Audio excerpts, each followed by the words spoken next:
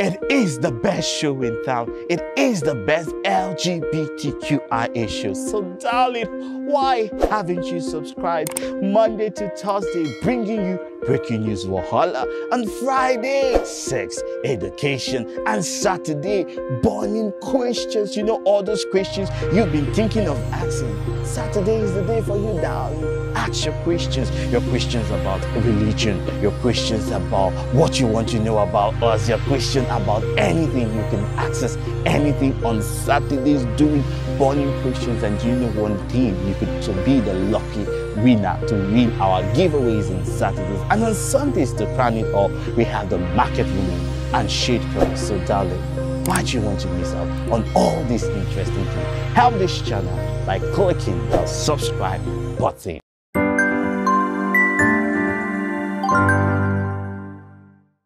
Everybody, I just came back from the office right now where Ella and her husband beat me up. She strangled my neck and she gave me this these bruises. As you can see in my hands here. This drama has been going on, ongoing, but let's just start with because it's it's a very long story, different parts. But let's start with the recent um, um, worker that came out to call Ella. Ella is the ED, the executive director of Dynamic Initiative for Health and Human Rights, DIHHR. So her name is um, Ella, Ella David and Etty, Miss Ella David Etty. So our worker has called her out, Samantha has called her out. And Samantha said that she was bullied by Ella.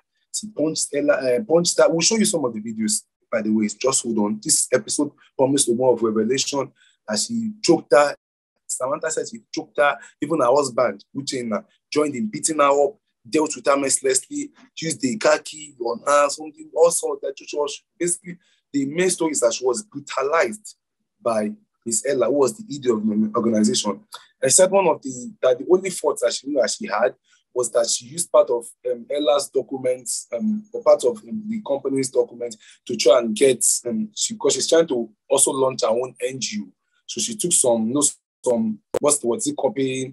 You know when you copy some people's their statements, their words, the, their Um, policies. their policy. Company yeah, policies. They company copied the company policies and she applied that. So that's her only mistake. But she felt like at least she could have settled it, or she could have, even if it was to pay like compensation or something like she does not, she, even if she doesn't have the money, she could have waited. But she didn't like the fact that she was brutalized, she was demonized, she was beaten mercilessly by Ella and also her husband who joined in it. My local, my natural hair, my local, my local, what's great? That's what someone is trying to drag me on top. Because it's out of envy and uh, with her badness, you know. My hair starts from here, you know, you can see it. I can teach you how to make your hair and it comes here, you know. You need to shave it. By the time I like 50, you can imagine her boyfriends, you know, they just after me. I tell you how old I am, hey,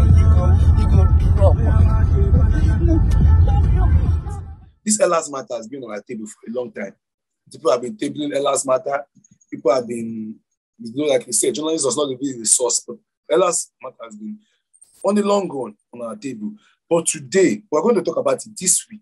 I think this week is going to be all about Ella's matter, NGO. Even other people know we have different stories.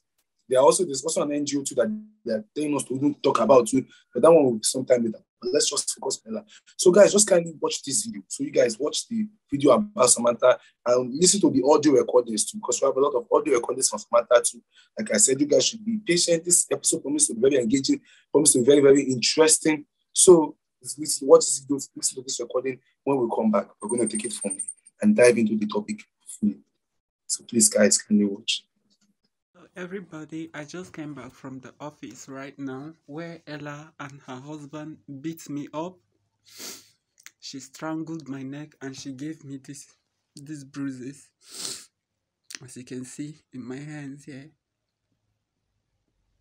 Some of them are here on my finger.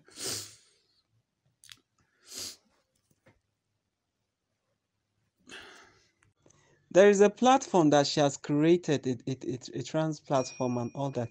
What she's doing in that platform, she's trying to turn them against me. But I've, by the special grace of God, I have had my share of relationship one on one with a lot of them that are in that very platform and they know they know so the, the the problem is from her all these things that she's going about doing this doing that me i do not have a problem oh.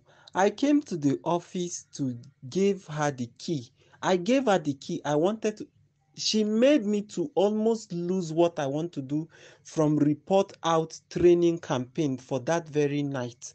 I was so upset by that when i started calculating all the things that she have doing from PEFA, from she made me to lose my my my scholarship, my scholarship for for Rainbow Academic. There is a lot of things that when I all those things on my head. When I came to the office, she told me that I should come and give her the keys to the office. When I gave her the keys, I was going out. And I was going out, I wanted to look for a human rights activist or probably somebody to talk to because my heart was bitter at that time. I went to her house to ask her to give me that system so that I could get what I want. She refused, she slammed the door. Only for her to come off in the office in the morning and started screaming my name. I handed over the office key to her. I was on my way to leave when she come and banged the door and she locked it and told me that I'm not going to co- go out. I said I will step out of this gate and you will not do anything. You cannot deprive my fundamental human right of movement. You can't. She told me that I'm in her space. That it is in her space that I am. So I cannot move. I tried to open the door. She pushed me and she started punching me. And Uchenna is just looking. She will beat me, beat me, beat me. He's, he's looking until she packed me by the by, by, by, by the leg and my head was down on the interlock. Then what did she do? She put her hand round towards my neck, around my neck, and then she, you know, the way wrestlers used to hold, and then she held it tight until he saw that she was going extreme before he started shouting on her to leave. That this is what me, I want them, I want her to do. I don't even understand. She now says she does not care to an extent that she, she and him almost have a little cl- slight clash when he was telling her not to go that extreme because he has seen how life threatening it was. She locked the door, the gate with the key and refused to let me go outside. And later she now came back. She was she, she was insulting my mother that I'm a witch. My mother is a witch. There's nothing that she did not say. If they burn me well, if my mama open to to burn me well, make I come out for gates. Make she see. I, I did not go to school. I, I do I have a degree, a pauper like me? Uchenna come open the mouth, they talk that people like you that do not have degree are not supposed to open their mouth and talk.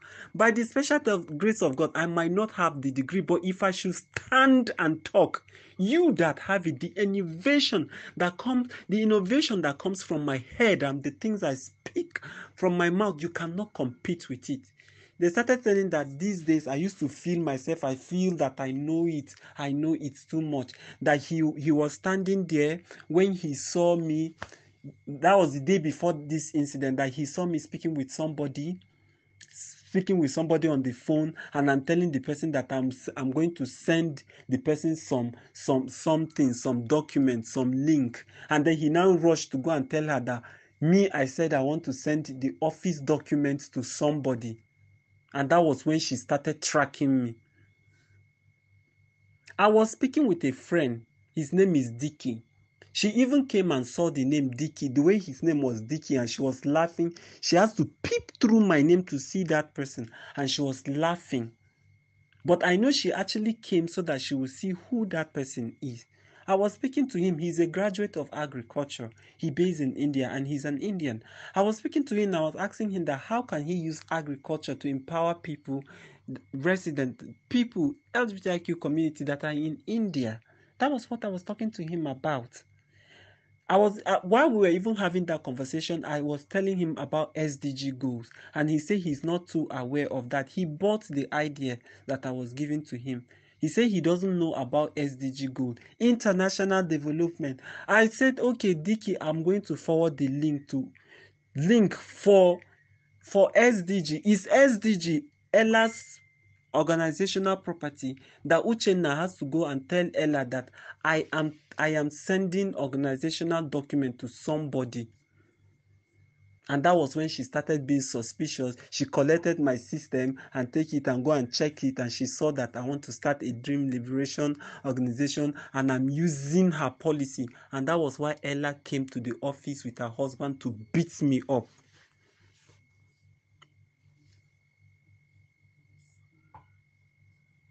Sure, you see that the way that matter take day. She remove her designer's high heels, which I don't know. Not him on my head. I wish my head is not braided. I will have broken. You will have seen cuts on my head. I be mumune wey be say sotey I go leave office dey waka dey come outside like this dey cry. They force me to take out a sewing machine that is worth forty thousand naira. I I don't even know where I kept that sewing machine as as I'm talking right now. I don't know where I dumped it because I couldn't carry it. They forced me to take it out. When I brought it out, I left it somewhere there and I went my own way.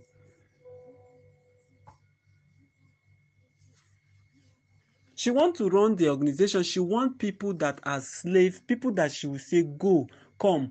For all the people that came and, and left, those people rejected that attitude. I was the only person that stood, I endured. People will not know. I will come outside, people will see me, and people will be thinking as if I'm happy. I am not. But I'm just trying to hold on. Until when I started doing some certain things, I said, no, I need to own my narrative. Until that time, I started saying no to some certain things. How can you come and meet me and tell me to challenge Doshima because she's presenting? For what now? I should tell you what me and Doshima you are I should I should tell you about my life. I'm always being secretive.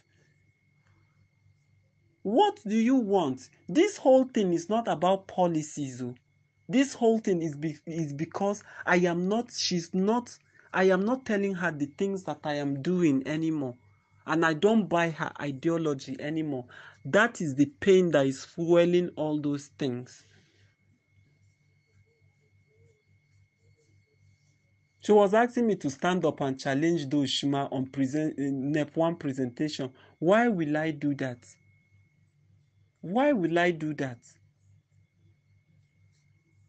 Let her post anything that she feels like posting. I am not that prematured. I, I don't I, I I have sense and I'm led by the Holy Spirit.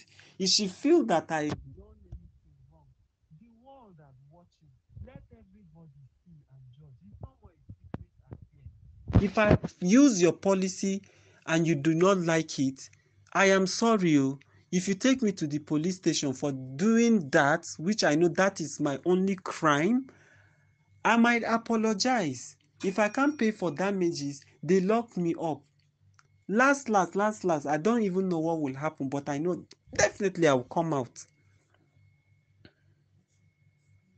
So I don't know all these things that she's she's copying people to tell them that if they engage with me, they are that she they are at they are she's trying to do as much as possible to see that that organization that I want to start does not come to light. That is her plan now. The the the the the, the pain there is not because I use the policy. The pain is because I wanted to start up a movement and I'm breaking away from her. And why is she pain? I wish I have learned anything there. But I've not learned anything in that very space, I can tell you.